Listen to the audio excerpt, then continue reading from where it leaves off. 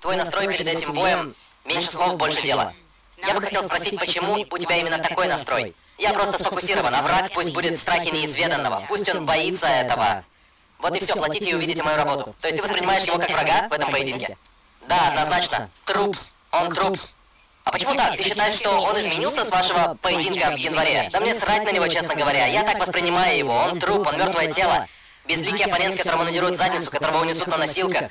После боя в январе ты пришел на пресс-конференцию, и я был удивлен, что ты уже разобрал поединок, нашел какие-то моменты, что ты делал, что он делал. Скажи, с января, что еще ты извлек из этого боя?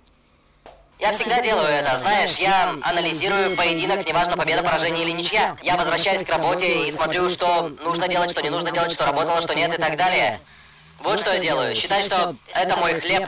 Давай остановимся на этом. Что тебе нужно делать иначе? Какие поправки ты внес? Да, я просто сфокусировался на ММА. 85% того лагеря были в боксе. Я готовился к бою с Манни Пакьяо, затем этот бой всплыл. Изначально это должно было стать благотворительным ивентом. Даже не в UFC. Так что мне просто стало его жалко, и я подумал, ладно, помогу ему. И вот и все. Бой прошел как прошел, и...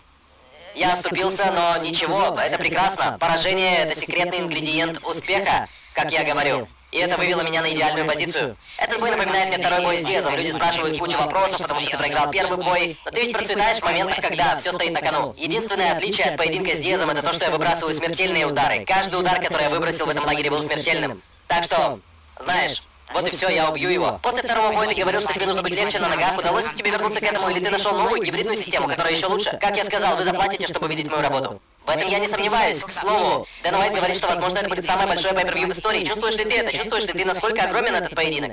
Это всегда, всегда так, когда Мак в городе. Ты рад вернуться в Вегас для этого?